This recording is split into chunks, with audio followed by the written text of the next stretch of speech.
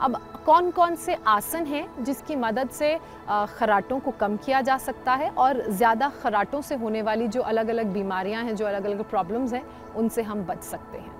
दो ऐसे योगाभ्यास हैं जिन्हें अगर आप रेगुलरली प्रैक्टिस करेंगे तो आपको किसी भी तरह की बीमारी नहीं होगी। सबसे बड़ी बात ये कि ये योगाभ्यास आपके पूरी बॉडी में ब्लड और ऑक्सीजन के फ्लो और सप्लाई को अच्छा करेंगे। और साथ ही अगर ये योगाभ्यास आप करेंगे तो गर्मी से जो चिड़चिड़ापन हो जाता है, जिसके बाद नींद अच्छी नहीं आती है, हम जो हीट स्ट्रेस महसूस करते हैं, जिससे कई बार रात को खराटों की समस्या भी होती है तो वो समस्या भी दूर होगी, वो परेशानी जो है, वो प्रॉब्लम जो है, उसका भी सल्यूशन ये दो आसन है। हालाँकि ये दो आसन शुरुआत में थोड़े मुश्किल हैं, लेकिन अगर आपको सही टेक्निक मालूम है और अपनी बॉडी का स्ट्रेंथ और बैलेंस आप बना सकते हैं तो ये आसन आपके लिए बहुत हेल्पफुल है। पहला आसन है किंग ऑफ़ आसना यानी कि शीर्षासन हेड स्टैंड दूसरा आसन है क्वीन ऑफ़ आसना यानी कि सर्वांग आसन शोल्डर स्टैंड तो सबसे पहले मैं आपको बताने वाली हूँ कि हेड स्टैंड कैसे करें।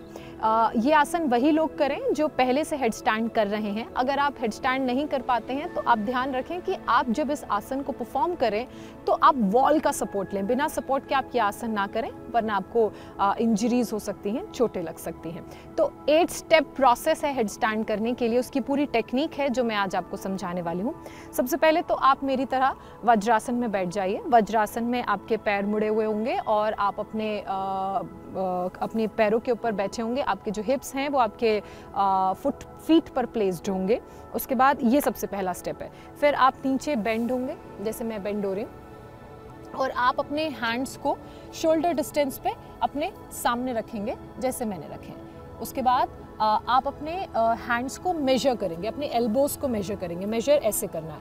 आप राइट हैंड से इधर पकड़ेंगे लेफ़्ट हैंड से ऐसे अपने एल्बोज़ को पकड़ेंगे और ये शोल्डर डिस्टेंस पे आपने मेजर कर लिया। जब आप इसे मेजर कर लेंगे तो आप अपने हाथ ऐसे खोलेंगे। आ, तो जहाँ पे आप जो पॉइंट्स आपने मेजर किए हैं जहाँ पे आपके एल्बोज़ आ रहे हैं यहीं पर आपके एल्बोज प्लेस्ड रहेंगे। यानी कि इतना ही डिस्टेंस आपके हाथों का रहेगा जब आप शोल्डर स्टैंड करने हेड स्टैंड करने जाएँगे। ये उसके बाद दूसरा स्टेप है, आप अपनी फिंगर्स को इंटरलॉक कर लेंगे। ऐसे इंटरलॉक करके आपने ग्राउंड पे प्लेस करनी है। यहाँ पे आपके एल्बोज आए थे और ये पैरेलली आपके जो हाथ हैं, ऐसे ग्राउंड पे प्लेस्ड रहेंगे इंटरलॉक ये है स्टेप टू अब स्टेप थ्री में आप अपने टॉप ऑफ़ द हेड यानी कि क्राउन एरिया को अपने इंटरलॉक्ड फिंगर के बीच में प्लेस करेंगे, जैसे मैं प्लेस कर रही हूँ। स्टेप थ्री आप थोड़ा सा ऊपर उठेंगे, उसके बाद प्लेस करेंगे। अब स्टेप फोर में आप अपने घुटनों को ऊपर उठाएँगे। ये हो गया स्टेप फोर अब आप फॉरवर्ड मूव करेंगे। अगर आप कंफर्टेबल हैं तो आप अपने दोनों पैरों को मोड़ लीजिए। अगर आप कंफर्टेबल नहीं हैं तो धीरे धीरे एक पैर को फोल्ड कीजिए। फिर बैलेंस बनाइए। जब बैलेंस बन जाएगा तो दूसरे पैर को फोल्ड कीजिए। उसके बाद ये है स्टेप फाइव उसके बाद आप अपनी टेल बोन को टक करिए। टेल बोन टक्ड रहेगी। थोड़ी देर यहाँ पे बैलेंस बनाइए। उसके बाद आप अपने हिप को ओपन करेंगे। जो हिप बेंड था, उसको ऐसे ओपन करेंगे। स्टेप सिक्स उसके बाद आप पैरों को धीरे धीरे ओपन करेंगे। स्टेप सेवन उसके बाद आप अपनी बॉडी अलाइन करेंगे।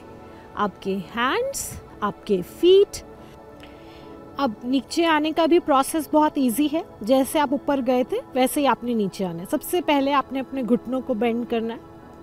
उसके बाद आपके हिप बेंड होंगे ऐसे, नीचे की तरफ़.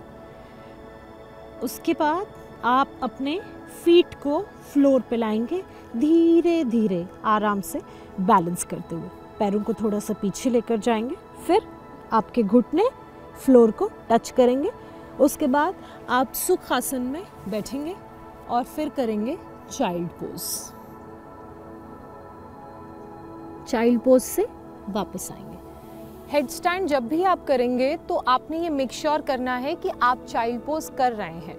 चाइल्ड पोज करना इसलिए भी बहुत ज़रूरी होता है क्योंकि जब हम हेड स्टैंड करते हैं तो हम अपने पैर हवा में और सर फ्लोर पे रखते हैं, यानी कि हम सर के बल हवा में खड़े होते हैं। नॉर्मली हम पैरों के बल ज़मीन पर खड़े होते हैं। तो जब हम पैरों के बल ज़मीन पर खड़े होते हैं तो जो हमारा ब्लड सर्कुलेशन होता है, वो नीचे की तरफ़ होता है। यानी कि हमारे दिल से खून नीचे की तरफ़ आता है। लेकिन जब हम ज़मीन पर सर के बल खड़े होते हैं तो उसमें हमारा जो ब्लड सर्कुलेशन है, वो रिवर्स हो जाता है। यानी कि जितना भी खून नीचे की तरफ़ फ्लो हो रहा है बिकॉज़ ऑफ़ ग्रेविटी वो सारा खून अब सर की तरफ़ आता है। और इसलिए हमारे ब्रेन में ब्लड और ऑक्सीजन के सप्लाई को, ये जो खून सर की तरफ़ बहता है, वो बढ़ाता है।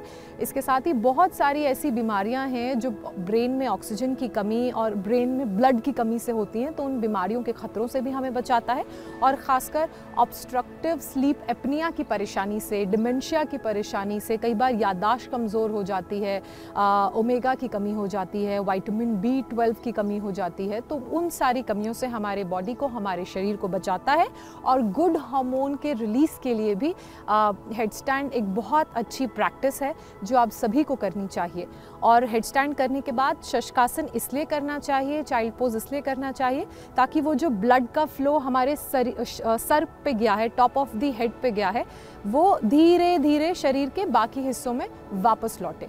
आप हेड स्टैंड करने के बाद अगर एकदम से खड़े हो जाएँगे तो आप देखेंगे आपकी आँखें बहुत लाल हो गई हैं। उसका सबसे बड़ा रीज़न ये है कि आपका जो बॉडी का ब्लड है और ब्लड का जो फ्लो है, वो सब आपके शरीर में चला गया है, इसलिए आपकी आँखें लाल हो गई हैं। तो इसलिए हेड स्टैंड करने के बाद चाइल्ड पोस्ट करना शशकासन करना बहुत ज़रूरी है।